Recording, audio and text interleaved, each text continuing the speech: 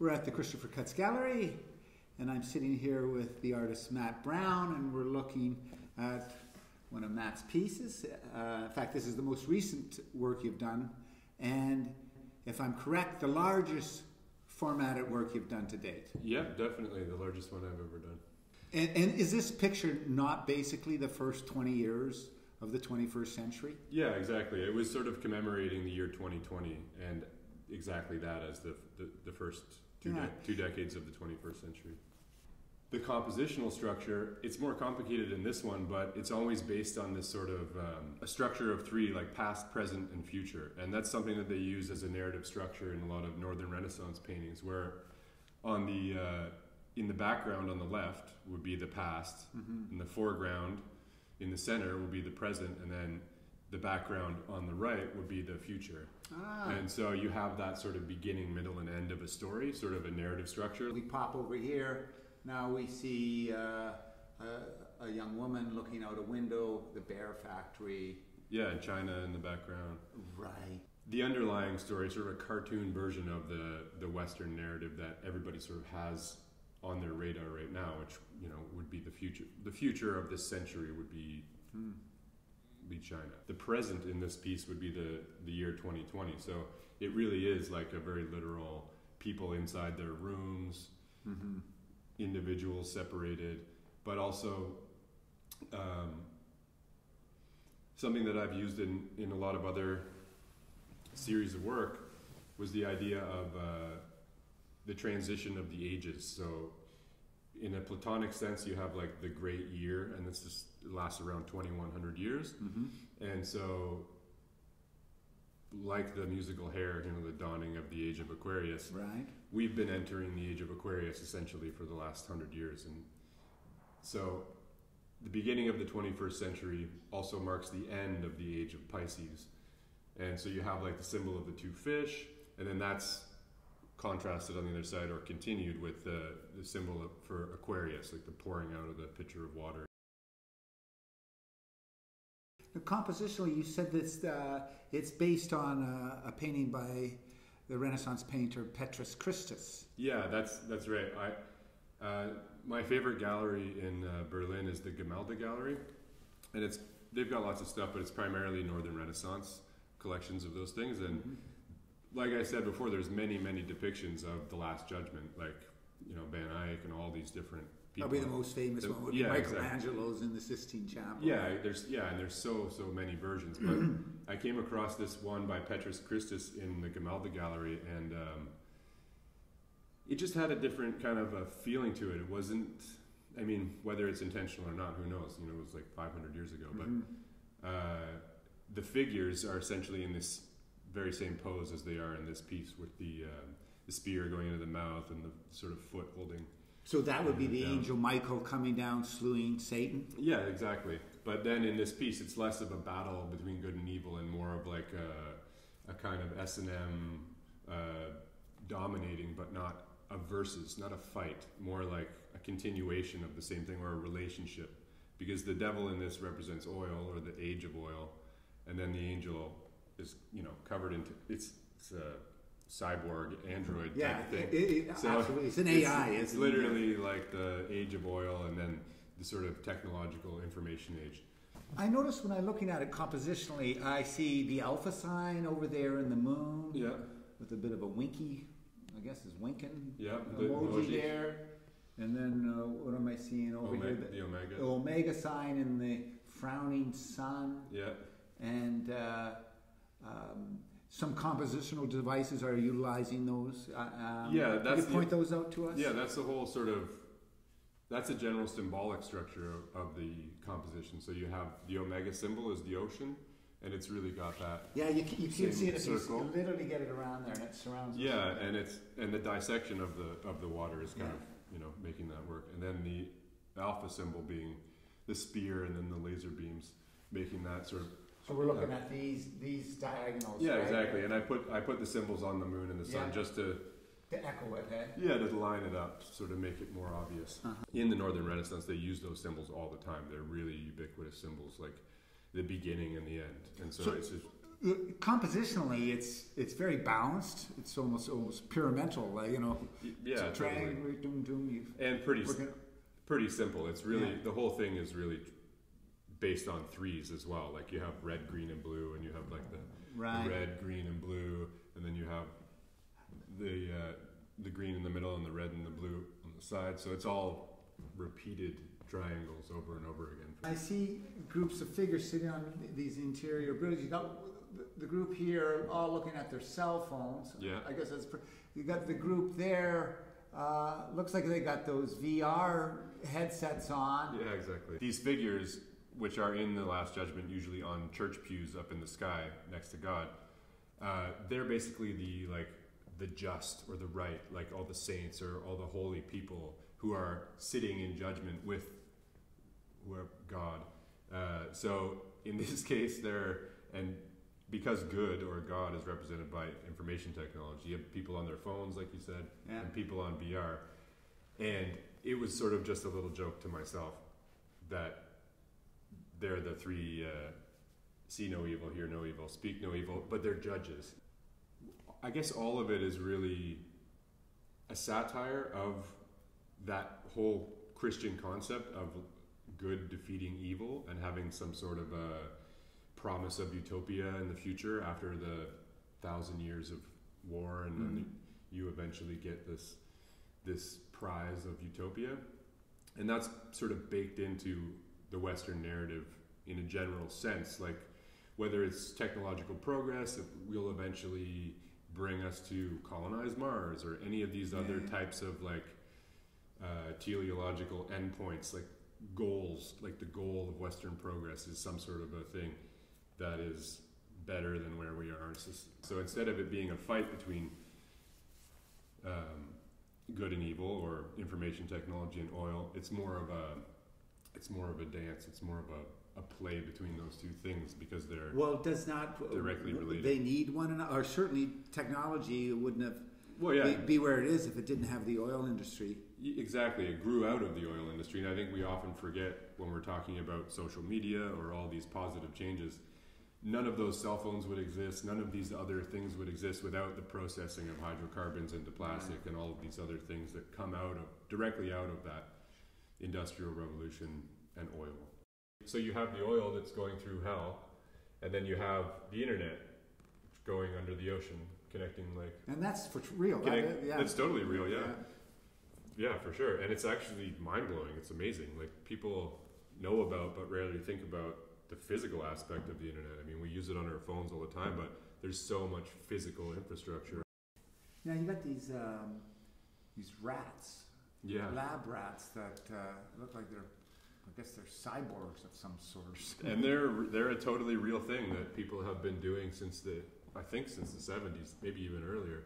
There were all these different experiments as we don't like to think about, but a lot of these sort of technologies interacting with organisms have been tested on organisms for the most part animals and the rat is like uh, especially the white lab rat is a amazing symbol of science's interaction with with animals with organisms and so Yeah, yeah. what what people have done is they've put these electrodes into the specific areas of the brain of the rat, and in order to um, either stop its decision making or change its decision making. So in this case, when they've gotten pretty far with that technology, is they can have a camera on the back of the rat, and you could really literally have a remote control rat. So somebody is sitting there watching the camera and has a joystick and is making the rat go left and right or stop or start.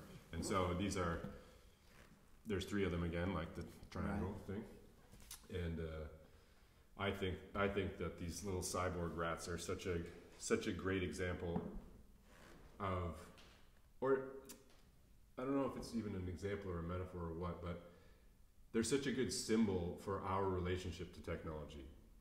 Even though there's no electrodes going into our brains, we're still massively affected by Hmm. the emotions that our phones create, the way that we feel based on what's going on on that device, all of those kinds of those kinds of really it's a really simple symbol, but it's also I think a really important and powerful part of where we are right now is how affected we are by Technology. and how intimately affected, like how subtly Oh, affected. yeah. So you have these these two two-headed figures. Right. The one on the left is uh, Jaron Lanier and Judea Pearl, and on the right is um, Mark Zuckerberg and uh, Sergey Brin. Right. So Jaron Lanier and Judea Pearl are sort of the the invisible side of the algorithms and computer technology that we use today. They're the people who developed basically the math that goes into The scientists. well, and many other people, but they're just two good symbolic choices of people who created those algorithms and created that math. And then these guys on the right are sort of the corporate implementation of those same. Much more recognizable faces. Yeah, they're the public figures. Yeah. And Jaron Lanier is kind of a, I know he's a, nerd- uh, an interesting character figure, for sure. Yeah. but so much more so the. well, Mark who doesn't know who and- these two guys are? Yeah, Sergey Brin. Yeah. But back in the um, back in the early '90s, when Silicon Valley was kind of like blowing up or developing, there was this experiment that was done where I can't remember the name of the guy, but uh, he got he got a few hundred people together in an auditorium. Didn't tell them why they were there. It was probably part of some other tech conference or something like that. So he had a large audience of people, and it was divided down the middle, and everybody had one of these paddles in their hand. On one side of the paddle, it's red, reflective red, and on the other side, it was this reflective green, and just a little paddle. And everybody was in the room, sitting there, didn't know why, what, you know, in anticipation of what's going to happen. They don't know.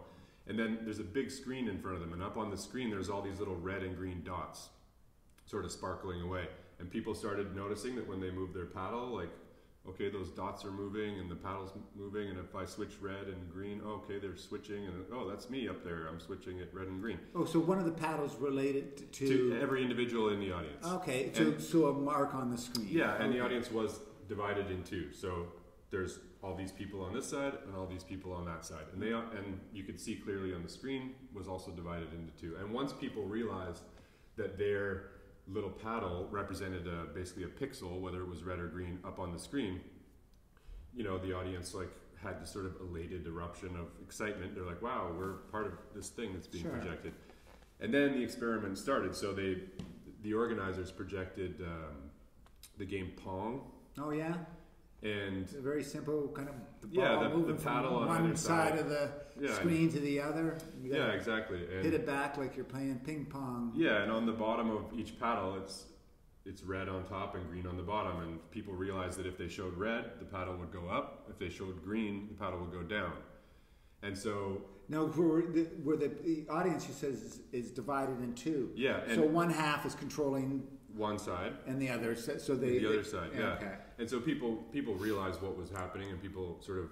But again, nobody was prompted or given any sort of uh, explanation. But there They- had to be uh, they figured it- cooperation. Yeah, they figured it out on their own. But what happened was really quickly, the paddle on either side was functionally playing that game. And if everybody on one side showed red, the paddle would go all the way up to the top and the ball would miss. Yeah. So p- individuals had to decide whether they would show red or green to really accurately adjust where Huh. not just top or bottom, but the whole gradient in between to actually play the game. Okay. And so, to this day, there's not a really a good explanation of how that works in a group, but bas- but basically, it's an example. And Does wa- it work? Were they able to? They were able to play really well, yeah. you know. And people, and, and better. The longer they played, the, the better they got. And it's not about people talking to each other saying, "Hey, you show red, I'll show green, and then we'll do this." So It's, sort a, it's really, it's really, yeah. And so, what it's been labeled is is called a subconscious consensus. Ah, And there's lots and lots of study around it, but this is one of those early experiments that has become sort of symbolic of what the internet and what social media has become in a certain way. Is that everybody has their individual little node and they're in their participation in this in this much larger system. mhm. And if you put different controls on that, you can have a different a different result. Like so the controls that were put on that experiment were incredibly simple, which is up and down or play this game, Okay, you know. get it, I And so it's kind of it's a it's I thought it's a good metaphor. It's been used in uh, right. uh, some important films, and it's it's been used as an example of an early example of how curious that kind of group mind is. I see this kind of looks like a, a hypodermic needle. Is that? Am I looking at that? A hollow needle inside of a, a carbon atom? Is that yeah, what yeah, that or is? it's like a hydrocarbon, which is basically, you know, what what we use, the molecules we use from oil, the way we separated it. So hydrocarbons are basically And this is basically like sticking it down in there and sucking the juice out of Earth, or something. yeah. something. And what I was gonna get at was that that this whole space, this whole like empty chasm under the ocean, was once full of oil, and then we've drained it. And so this hypodermic needle type of thing, it it goes up and it connects to the uh, oil rig. there. ah, So you have the oil rig, Of and course. then coming out of the top of the oil rig is this you got orange pipe or tube or whatever. yeah, and it's And- all it's kind of Yeah, see it it weaves- weaves right back down. Yeah, and it weaves through through the oil as as part of that narrative to be to be showing that it's been drained out. It's it's all part of the same thing, and it's connected up. It's sort of a tug of war between these two robots, which ah, yes. like the uh, sort of cyborg angel and everything, they're a sort of representation of human form, hmm but as a machine. So there's one that's run by oil, and so you can see the the oil that's being drained out of here. It goes back, and then it connects up to the That's literally its the pipeline. gas tank. eh? uh, yeah, so that would be, and there's a little exhaust coming out of his thing. But that's actually from that's a. Uh, That's an industrial revolution uh, robot. yeah, exactly. And then this one would be a more contemporary electric robot. For So you sure, have- you see all of the yeah, and much it's higher tech. and that's the Boston Dynamics. Like that's a contemporary robot right now. I mean, of this is an actual. Yeah, sort of leading the leading edge of, of humanoid robots Right. at Boston Dynamics. And this one is from a film that is basically a critique of of exponential progress. It's uh it's the guy it's Katsuhiro Otomo. He's the same he's the same guy who made Akira, Okay. one of the most sort of um, iconic uh, anime films ever made in in a, I think it's 79 or in the 80s. Now here you got. Uh, uh, they look like little coronaviruses all over, little spiky something. Uh, these are. Yeah, they're- this, they're these, fi- uh, these viruses are bacteria. Or, Those are all viruses. There are 14 different uh, morphologies of viruses, so there's many, many, many more. But yeah. those are 14 different shapes that viruses can come in. And then you have these like little uh, uh, tools or gears or what, what's going on there? Yeah, and again, like uh, in terms of this, Oh yeah, look, I guess they are tools, getting more sophisticated. yeah, it's the evolution of tools in a really Ah. simplified thing. So you have like the basic stone tool, and then arrowhead, and Right. then axe head, and then wheel, cog, A and then gear. cog, and then the combustion engine, and then the cell phone. Ah, so, nice. so, but and that really was like I was saying before that I've been trying to sort of weave in this metaphor of viruses as a metaphor for technology for a long time, and that's just literally that. It's like 14 different shapes of viruses, and then they kind of spiral around the center of the earth, and then you have Right. the evolution of technology coming out of it. Uh, you know, and then there's a little um, now, am I seeing an Ouroboros there? totally is two two-headed Two-headed snake. What's with the number seven on his uh, on his head. brow? Yeah. Well, then I had the seven on the uh, virus as well, so you have a little triangle of three sevens. I just always also thought that uh, part of the work that I was doing, and I realized a long time ago, was to have all of it be one consistent body of work. hmm And so, in order to sort of connect that a little bit more, I always based everything either on threes or sevens or 21s in terms of how many things there are. Like, there's 14 viruses and then seven uh, iterations of technology, and then there's again, there's uh, seven types of bacteria, and then What do we got here? We got like fungus and those are my favorite thing in the world, the slime mold. Oh, slime mold. And course. they're, yeah, they're in every piece almost going back for the yeah, last I do 15 years. remember them. Yeah. but they're such they're such a great symbol of not societies necessarily, but I, I like to use them as a symbol for that. But what they are, what slime mold or some kinds of slime mold are, is they're a bunch of single-celled organisms that are living in an environment on the forest floor, say, and they're literally that. They're like amoebas. They're little single-celled organisms. They're self-sufficient. They eat. They do whatever. And when they start to run out of food, they start to um, they start to uh, come together and become basically a little slug. They become a multicellular creature in order to Survive. to locomote, to move somewhere where there's more food. And so there are all these individuals, and then they come together and they become one larger organism. And then, in order to move, some of them have to die in order for that thing to start moving. It's guess- how it Is moves. that what you got here? Is Yeah, exactly. And then there's a little diagram of it, basically. And then once they get to a place where they sense that there's more food, a whole bunch of them start dying. right. And then they make a little tower. And then the healthiest ones of the bunch sporulate and become individuals again. I see um, uh, a red and blue pill. It Yes. looks like it's actually been opened up, okay, and you got the little Totally. the magic potions falling out. Yeah, and, then uh, I see them. I see it in a number of cases. Yes, all over the place. yeah, yeah, and uh, that's another sort of that's a reference to the at this point I would say very classic internet meme of the red pill, blue pill, and it, I, mean That matrix. yeah, it comes from the Matrix. right. When and you, whether you want to live with the blue pill, I believe, live in uh, blissful ignorance, or take the red pill and see the uh, the horrible reality, to see the horrible truth, to see the, the naked Yeah, yeah, truth, or to be, you know, but but in this Blissfully ignorant. but but in this in this satire, the pills because they're open here, they're not connected, but they're the same pill. It's red and blue I see and Yeah. she's giving it to him. It's also like sort of on this this UFO spinning top thing. Yeah. Uh, it's you know it's connected. It's the whole thing. And Is that the godlike figure sitting on top of the UFO there? yeah exactly With his fiery sword and yeah the sword of judgment and the flower of redemption ah, from the from the last judgment. On a spinning The- top with uh, all the astrological signs. Yeah, that's my. Uh, That's you. And uh, yeah, then again to go back to the, the the changing of the ages or the transition between the the ages of the zodiac. That's what that's a reference to. The spinning top is actually a symbol for precession, which is it, it is. I measured it. I used a pro what's a protractor Yeah. or whatever, Yeah. and it's twenty three point five degrees, which is the um, the axis of the Earth relative to the sun Okay. And uh, you know, which gives us our seasons and whatever. But aside from that, the axis of the Earth rotates 360 degrees over the course of uh, 2,100 years. Sorry, over the course of uh, 21. 26,000 years. But divided by 12, then you get it like you know, you get a decimal place on it. But approximately every 2,100 years is is one astrological sign, and so we transition through all 12 signs over the course of 26,000 years.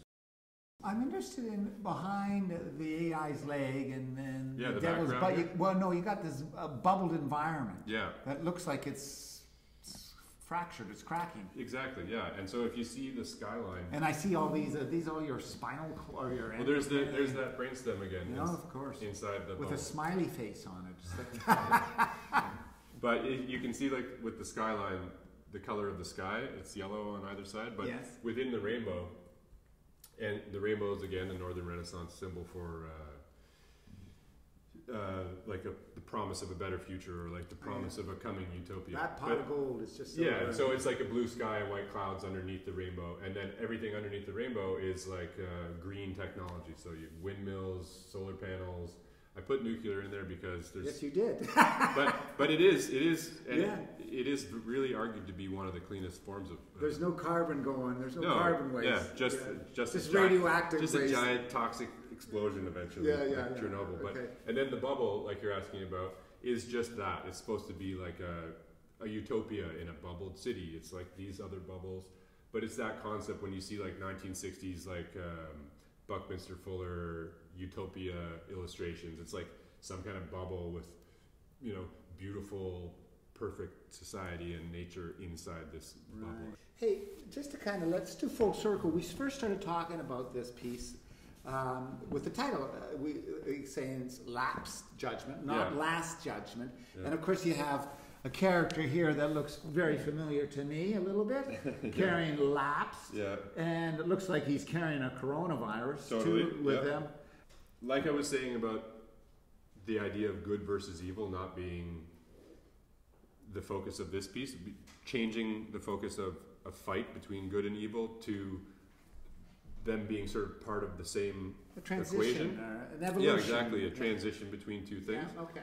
And so, last judgment in in a really direct way implies that this is the last time you will be judged by God, and everything after that will be this utopia that you will live in. So, the last judgment is like a promise, similar to the other promise Yes, he made that- after the flood, though. We're going to make that decision this time. Yeah, with the rainbow is also a reference to that, you know, God, God's promise. And so, in, in this kind of Western narrative of technological progress, Yeah. you have this kind of promise. Yeah, everything's been, we fucked up a lot of stuff by creating, you know, climate change and all these different things.